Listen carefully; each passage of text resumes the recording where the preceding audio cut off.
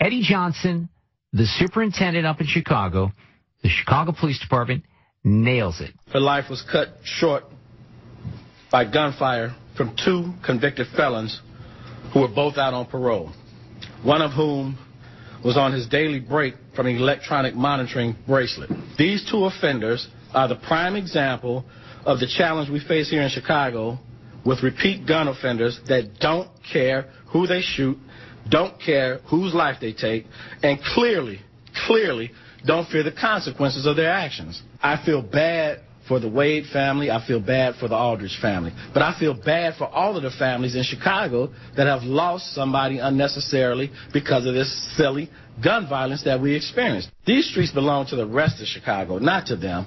But until we get serious about holding them accountable and put them in jail and keep them there, then we're going to continue to spin around like this. This reprehensible act of violence is the example of why we need to change the way we treat habitual offenders in the city of Chicago. When will enough be enough?